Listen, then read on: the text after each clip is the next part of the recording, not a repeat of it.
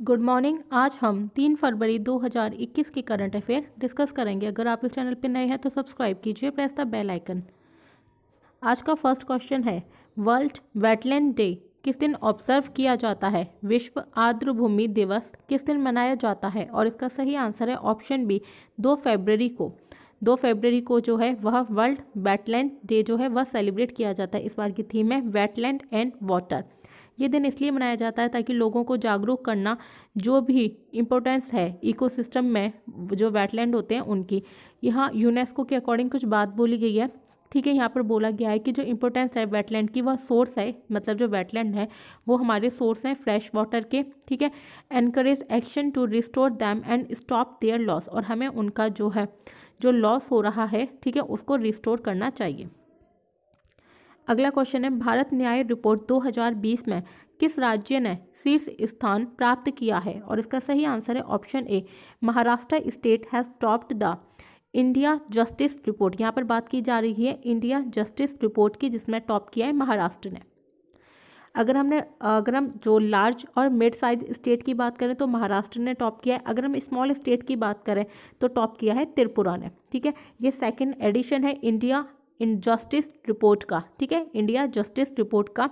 और यहाँ पर जो है, वह जस्टिस के बारे में जो है, वह इंफॉर्मेशन बताई गई है कि कौन से स्टेट के अंदर कितना जस्टिस है। अगला क्वेश्चन है, किस मंत्रालय ने आठवें भारत अंतर्राष्ट्रीय रेशम मेले का उद्घाटन किया है? और इसका सही आंसर है option C union textile ministry जो यूनियन टेक्सटाइल मिनिस्टर जो है, ठीक है, उनके द्वारा इनाग्रेट किया गया है आठवां India international silk fair textile minister कौन है? श्रीमती ईरानी, ठीक है, जिनके द्वारा इनाग्रेट किया गया है eighth edition international silk fair का, जो कि वर्चुअल ऑर्गेनाइज किया गया है। इस फेयर के अंदर जो है, वह इंडिया का, बताया गया कि इंडिया जो है, वह एक बिगेस्ट सिल्क फेयर है, ठीक है, और अगर हम बात करें तो हम सेकेंड लार्जेस्ट प्रोड्यूसर हैं सिल्क के। इंडिया एक अकेली ऐसी कंट्री है वर्ल्ड में जो प्रोड्यूस करती है, ठीक है, चार मेजर वेराइटी सिल्क की, जैसे कि मेलबरी इरी टसर और मूगा। अगला क्वेश्चन जो है, वह गव आज मतलब जो बजट है, ठीक है, उसके बारे में कुछ क्वेश्चंस हैं। तो अब हम थोड़ा सा बजट से रिलेटेड क्वेश्चंस को डिस्कस करेंगे। पहला क्वेश्चन है इसमें बजट से रिलेटेड सरकार ने, जो हमारा इंश्योरेंस सेक्टर जो होता है, बीमा क्षेत्र में विदेशी प्रत्यक्ष निवेश, जो एफडीआई होती है, ठीक है फॉरेन डायरेक्ट इन्वेस्टमेंट, जो बाहर से लोग आके जो इन्वेस्ट करते हैं, ठीक है? एफटीआई अगर इंडिया के अंदर किसी कंपनी में इन्वेस्टमेंट कर रहे हैं, ठीक है? उसकी सीमा को मौजूदा 49 परसेंट से बढ़ाकर कितने प्रतिशत कर दिया है? यहाँ पर बात की जा रही है कि जो अभी बजट आया, यूनियन बजट, उसमें फॉरेक्ट direct foreign direct investment limit, ठीक है? अगर हम यहाँ पर एक चीज़ याद रखना कि किस सेक्टर की बात हो रही है इंश्योरेंस सेक्टर की बात की जा रही है। वहाँ पर पहले लिमिट थी एफ़ की फोर्टी नाइन परसेंट की जो दूसरी कंट्री की जो कंट्रीज़ हैं, वह इन्वेस्ट कर सकती हैं। इंडिया में फोर्टी नाइन परसेंट ही उनकी लिमिट है कि वह इतना ही मैक्सिमम जो है, वह इतना पैसा लगा सकती हैं किसी भी कंपनी के फोर्टी नाइन परसेंट लेकिन अब उसकी लिमिट जो है, वो बढ़ा दी गई है। वो है सेवेंटी फोर परसेंट तक जो है, वह कोई भी कंपनी जो है, वह इन्वेस्ट कर सकती है। फाइनेंस मिनिस्टर निर्मला सीतारमन ठीक है, जिन्होंने इंक्रीज कर दिया है foreign direct investment limit insurance sector में 49 परसेंट से अब 74 परसेंट कर दिया है। अगला क्वेश्चन है यहाँ पर कि किस केंद्र शासित प्रदेश राज्य में मतलब किस यूनियन टेरिटरी और स्टेट में केंद्रीय बजट 2021-22 में सुलभ उच्च शिक्षा के लिए एक केंद्रीय विश्वविद्यालय स्थापित करने का प्रस्ताव है? यहाँ पर बात की जा रही है कि इस बार का जो बजट है, वहाँ पर एक सेंट्रल यूनिवर्सिटी जो है, हायर एजुकेशन को पहुँच के लिए जो है, वह एक प्रपोजल रखा गया है इस बार के बजट में। तो ये जो सेंट्रल यूनिवर्सिटी है, वह किस स्टेट या यूनियन टेरिटरी में स्टैब्लिश की जाएगी? और इसका सही आंसर है ऑप्शन बी, लद्दाख के अंदर जो है, वह एक सेंट्रल यूनिवर्सिटी बनाई जाएगी हायर एजुकेशन के लिए। इसका प्रस्ताव रखा गया यूनियन बजट दो हज़ार इक्कीस बाईस में। और उसके अलावा भी अब हम जो है एजुकेशन से रिलेटेड जो भी बातें की गई हैं बजट में, उनके बारे में भी थोड़ा सा जान लेते हैं। ठीक है यूनियन बजट 2021-22 जहाँ पर एक क्वालिटेटिव स्ट्रेंथनिंग ऑफ़ पंद्रह हज़ार स्कूल्स की बात की गई है। ठीक है नेशनल एजुकेशन पॉलिसीज़ में उसी को यहाँ पर बढ़ावा दिया गया है, जो हमारी नेशनल एजुकेशन पॉलिसीज़ आई थी। ठीक है, उसी के बारे में जो है कि जो स्कूल्स को बढ़ावा देना है, मज़बूत करना है पंद्रह हज़ार स्कूल्स को, वहाँ पर ये बात रखी गई है आज के बजट में। नेक्स्ट पॉइंट ये भी बोला गया कि सौ नए सैनिक स्कूल जो है, वह सेटअप किए जाएँगे, ठीक है? वो किसकी मदद से होंगे? वह एनजीओ प्राइवेट स्कूल्स और स्टेट्स की तरफ़ से।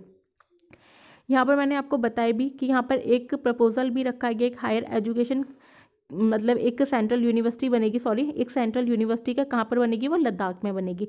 उसके अलावा यहाँ पर एक प्रपोजल रखा गया कि एक हायर एजुकेशन कमीशन भी बनेगा इंडिया में। किसका कमीशन होगा? वो एजुकेशन हायर एजुकेशन के ऊपर एक कमीशन भी बनेगा। नेक्स्ट क्वेश्चन है, उज्ज्वला योजना ने कितने परिवारों को लाभ पहुँचाया है? और इसका सही आंसर है आठ crore, option D. Option D is the right answer. Ujjwala scheme जो कि बेनिफिटेड किया है, उसने कितने हाउस होल्डर्स को? आठ करोड़ परिवारों को। उज्ज्वला स्कीम, ठीक है, जिसने आठ करोड़ जो हाउस होल्ड्स हैं, ठीक है, उनको लाभ पहुँचाया है। जिसे अब और एक्सटेंड कर दिया है, एक करोड़ और लोग को भी बेनिफिट प्रोवाइड करवाया जाएगा, ऐसा बजट में बोला गया है 2021 का जो बजट है उसमें। और क्या बातें की गई हैं? अब हम यहाँ पर पेट्रोलियम एंड नेचुरल गैस से रिलेटेड सेक्टर्स में बजट में क्या बातें रखी गई हैं, उसके बारे में हम बात करेंगे। ठीक है, अभी हमने यहाँ पर बात करी उज्ज्वला स्कीम के लिए। अब हम सेकेंड पॉइंट है यहाँ पर कि सौ मोर डिस्ट्रिक्ट्स में, ठीक है सिटी गैस डिस्ट्रीब्यूशन नेटवर्क को अगले तीन साल के अंदर जो है, वह ऐड किया जाएगा। मतलब जो गैस डिस्ट्रीब्यूशन नेटवर्क है, जो गैस प्रोवाइड की जाती है वो आने वाले तीन सालों के अंदर जो है, वह सौ और डिस्ट्रिक्ट्स में उसका कनेक्शन प्रोवाइड किया जाएगा। जम्मू एंड कश्मीर में भी गैस पाइपलाइन प्रोजेक्ट जो है, वो स्टार्ट किया जाएगा। नेक्स्ट पॉइंट है कि एक independent grant gas transport system operator जो है, वह सेटअप किया जाएगा। ठीक है, आप यहाँ पे भी शॉर्ट में देख सकते हैं। एक इंडिपेंडेंट गैस ट्रांसपोर्टर सिस्टम ठीक है ऑपरेटर टू बी सेटअप जो सारी चीज़ें ऑपरेट करेगा। एक गैस पाइपलाइन प्रोजेक्ट जो है, वह यूनियन टेरिटरी जम्मू कश्मीर में सेटअप किया जाएगा और उज्ज्वला स्कीम के तहत ऑलरेडी आठ करोड़ लोगों को फ़ायदा मिल चुका है और इसे अब एक्सटेंड कर दिया गया है एक करोड़ और लोगों के साथ। अगला क्वेश्चन है कि राष्ट्रीय अनुसंधान फाउंडेशन के लिए वित्त मंत्री ने पाँच वर्षों में कितने करोड़ का प्रसार करने का प्रस्ताव रखा है? यहाँ पर बात की जा रही है कि जो फाइनेंस मिनिस्टर जो है उनके द्वारा कितना प्रपोजल जो है, वह रखा गया है नेशनल रिसर्च फाउंडेशन के लिए। ठीक है, अगले पाँच साल के अंदर जो रिसर्च होगी, ठीक है, उसके लिए कितना पैसा दिया गया है, कितना आउटले रखा गया है और इसका सही आंसर है ऑप्शन डी। पचास हज़ार करोड़ जो है, वह नेशनल रिसर्च फाउंडेशन के लिए अगले पाँच साल के लिए दिया जाएगा। अब यहाँ पर हम बात करेंगे और भी कुछ इन्फॉर्मेशन ठीक है रिसर्च के साइंस के फ़ील्ड में। सबसे पहले तो फाइनेंस मिनिस्टर ने प्रपोज किया कितना आउटले पचास हज़ार करोड़ जो कि पाँच साल के लिए दिया जाएगा किसके लिए? नेशनल रिसर्च फाउंडेशन के लिए। इसके अलावा यहाँ पर डिजिटल मोड को बढ़ावा देने के लिए, डिजिटल ट्रांजेक्शन को बढ़ावा देने के लिए भी 1500 करोड़ रुपए प्रोवाइड किए गए हैं। ठीक है, एक नया इनिशिएटिव स्टार्ट किया गया है, जो है नेशनल लैंग्वेज ट्रांसलेशन मिशन। इसमें क्या होगा, जितनी भी हमारी मेजर इंडियन लैंग्वेजेस हैं, ठीक है, उसमें जो है वह इंटरनेट प्रोवाइड किया जाएगा। इस तरह से कुछ बात की गई है कि यहाँ पर बात की गई है कि एक नया इनिशिएटिव है, जिसका नाम है national language translation mission. Has been propose that की will digitalise the wealth of governance and policy related knowledge जितनी भी गवर्नमेंट की जो पॉलिसी रिलेटेड जो भी नॉलेज होगी इंटरनेट पर। सॉरी मैंने कुछ वो बोल दिया इंटरनेट पर। ठीक है, जितनी भी गवर्नमेंट की जो पॉलिसीज़ होंगी इंटरनेट पर वो सारी जो है वो मेजर इंडियन लैंग्वेजेस में आपको प्रोवाइड की जाएँगी। नेक्स्ट है कि जो श्रीमती सीतारमन, ठीक है, जो हमारी फाइनेंस मिनिस्टर है, जिनके द्वारा लॉन्च किया जाए लॉन्च किया गया एक डीप ओशियन मिशन ठीक है बजट में, और उसके लिए कितना रुपए दिया गया है? चार हज़ार करोड़, ठीक है, पाँच साल के लिए ये भी दिया गया है, पाँच साल के लिए डीप ओशियन मिशन में कितना है? चार हज़ार करोड़ नेशनल रिसर्च फाउंडेशन में पचास हज़ार करोड़ कितने पाँच साल के लिए पंद्रह सौ करोड़ जो है वो किस लिए दिया गया है? डिजिटल ट्रांजेक्शन और प्रमोट करना डिजिटल मोड पेमेंट वगैरह को डिजिटल ट्रांजेक्शन को बूस्ट करने के लिए। और यहाँ पे एक इनिशिएटिव भी स्टार्ट किया गया जिसका नाम क्या है? नेशनल लैंग्वेज ट्रांसलेशन मिशन यहाँ पर गवर्नेंस की जो वेल्थ है, उसको पूरी तरह से डिजिटलाइज करना, जितनी भी गवर्नमेंट की पॉलिसी रिलेटेड इन्फॉर्मेशन होंगी या नॉलेज होगी वह इंटरनेट पर, जो मेजर इंडियन लैंग्वेजेस है, ठीक है, उसमें प्रोवाइड करवाना लोगों को। नेक्स्ट यहाँ पर और भी बात की गई कि न्यू स्पेस इंडिया लिमिटेड जो कि एक पीएसयू है पब्लिक सेक्टर अंडरटेकिंग है, जो कि डिपार्टमेंट ऑफ़ स्पेस के तहत आती है, ठीक है, वो एग्जीक्यूट करेगी PSLV C five five one C S five one ठीक है? लॉन्च किया जाएगा, ठीक है? और इसके द्वारा जो है, वह लॉन्च कौन सी सैटेलाइट की जाएगी? अमेजोनिया सैटेलाइट जो है वो ब्राज़ील से जो है, वह लॉन्च की जाएगी। इसके अलावा यहाँ पर और भी बात की गई है कि कि चार इंडियन एस्ट्रोनॉट्स ठीक है? जिनको जेनेरिक स्पेस फ़्लाइट एस्पेक्ट्स के तहत रशिया में इनको ट्रेनिंग प्रोवाइड करवाई जाएगी, ठीक है, गगनयान मिशन के लिए, जो कि दो, दिसंबर 2021 में लॉन्च होगा गगनयान मिशन। उसके लिए चार एस्ट्रोनॉट को जो ट्रेनिंग प्रोवाइड किया जाएगा, उन्हें ट्रेंड किया जाएगा, वो रशिया में किया जाएगा। नेक्स्ट क्वेश्चन ये है कि स्वास्थ्य और सॉरी स्वास्थ्य और भलाई के लिए बजट परिव्यय में कितना प्रतिशत वृद्धि हुई है? यहाँ पर बात की जा रही है कि कितना परसेंट इंक्रीज हुआ है budget outlay health and wellbeing के लिए? मतलब कि हम कह सकते हैं सिंपल लैंग्वेज में कि हेल्थ सेक्टर के लिए कितना परसेंट बजट इंक्रीज होकर आया है इस बार। तो इसका सही आंसर है कि one thirty seven percent option C is the right answer one thirty seven percent जो है, वह हेल्थ के सेक्टर में जो बजट है, वह one thirty seven percent increase हुआ है।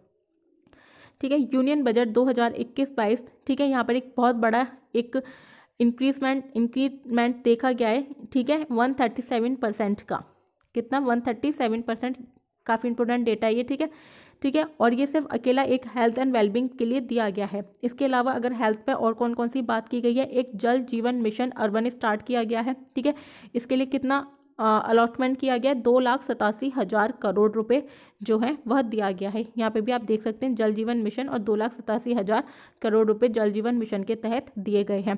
इसके अलावा यहाँ पर एक स्वच्छ भारत, स्वस्थ भारत, ठीक है, ये भी एक इनिशिएटिव स्टार्ट किया गया है टू पॉइंट ज़ीरो इसका मतलब वर्जन, और यहाँ पर जो है वो अलोकेट किया गया एक लाख इकतालीस हज़ार छः सौ अड़सठ अठहत्तर करोड़ रुपए, ठीक है? क्या ये एक लाख इकतालीस हज़ार छः सौ अठहत्तर करोड़ जो है, वह स्वच्छ भारत, स्वस्थ भारत के लिए दिया गया है, ठीक है?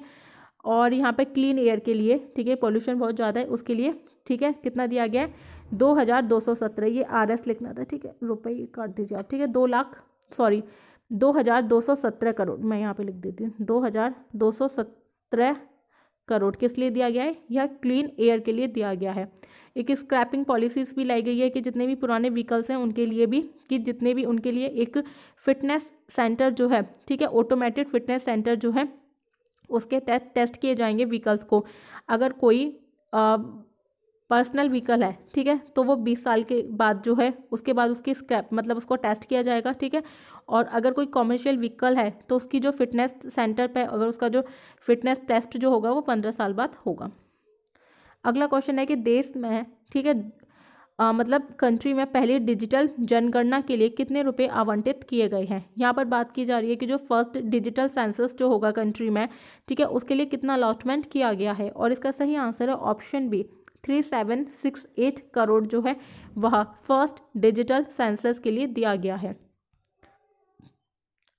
यहाँ पे हम एक चीज़ और देख लेते हैं कुछ इन्फॉर्मेशन बजट के बारे में। इस बार का जो बजट है वो सिक्स पिलर्स पर है। जैसे कि आप देख सकते हैं health and wellbeings physical and financial capital infrastructure inclusive development for aspirational India ठीक है invigorating human capital innovation and research and development minimum governance government maximum governance ठीक है, निर्मला सीतारमन, जहाँ पर उन्होंने एक रिफॉर्म्स रखा है जो सिक्स पिलर्स थे, उसमें से बजट पर उन्होंने जो रिफॉर्म किया है, वो किया है मिनिमम गवर्नमेंट और मैक्सिमम गवर्नेंस पर।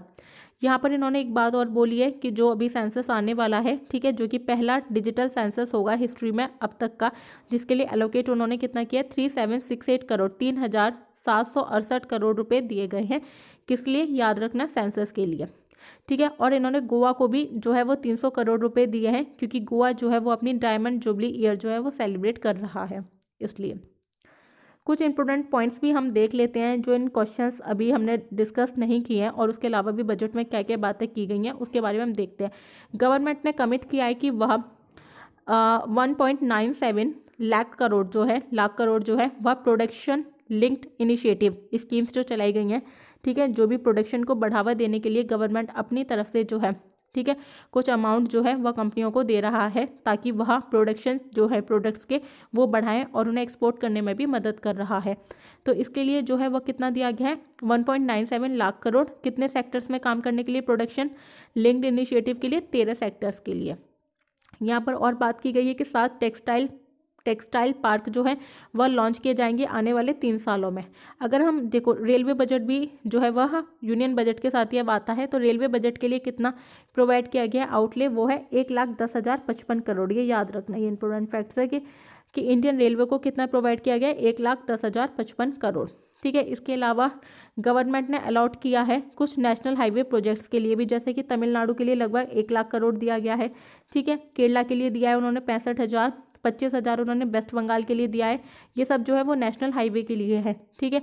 चौंतीस हज़ार करोड़ जो है वह असम के लिए दिया है, ठीक है? और यहाँ पर और भी इंफॉर्मेशन है, एक बार आप देख सकते हैं, ठीक है? उसके बाद गवर्नमेंट जो है वह डबल शिप रिसाइकलिंग कैपेसिटी भी बनाएगा 2024 तक, ठीक है? सेवन जो पोर्ट्स प्रोजेक्ट हैं, उन पर भी बात की गई है। यहाँ पर अब एक चीज़ और देख लेते हैं कि जो फाइनेंशियल ईयर 2021 का जो फ़िज़िकल डेफिशिट फ़िज़िकल डेफिशिट मतलब डेफिशिट क्या होता है फ़िज़िकल डेफिशिट होता है कि जो भी जो इनकम है, ठीक है गवर्नमेंट की और टोटल इनकम ऑफ़ गवर्नमेंट ठीक है, जो डिफरेंस होता है और टोटल एक्सपेंडिचर डेफिसिट तब हो जाता है जब गवर्नमेंट का जो टोटल एक्सपेंडिचर जो हो, जो खर्चा है गवर्नमेंट का वो ज़्यादा हो जाए और उतनी गवर्नमेंट की इनकम नहीं होती है तो फिर क्या हो जाएगा? डेफिसिट फ़िज़िकल डेफिसिट तो मतलब वैसे भी आप कह सकते हो कि जो डिफरेंस होता है जितनी कमाई करी है, ठीक है टोटल जो भी इनकम होगी गवर्नमेंट की वो, और उसका डिफरेंस क्या है टोटल एक्सपेंडिचर जितना खर्च करेगा। और फ़िज़िकल डेफिशिट कब हो जाता है, ज़्यादा कब बढ़ जाता है, जब एक्सपेंडिचर जो खर्चा हो, वो ज़्यादा हो जाए, जितनी इनकम हो रही है, उससे काफ़ी ज़्यादा। तो यहाँ पर बात की गई है कि जीडीपी का कितना फ़िज़िकल डेफिसिट रहेगा 2021 में 9.5 परसेंट जबकि 2022 में यहाँ पर बात की गई है तो वो बोला है कि जीडीपी का 6.8 परसेंट रहेगा। ठीक है, और यहाँ पर ये कुछ बताया गया है कि जिन लोगों की एज सेवेंटी फाइव ईयर से ज़्यादा है, ठीक है, उनके लिए जो इनकम टैक्स फाइलिंग जो है, वह ख़त्म कर दी गई है। और to extend eligibility for startup ठीक है क्लेम टैक्स हॉलीडे उन्हें एक साल तक जो है, वो कोई भी टैक्स जो है, वो देना नहीं पड़ेगा जो स्टार्टअप्स हैं उनके लिए, यह एलिजिबिलिटी है।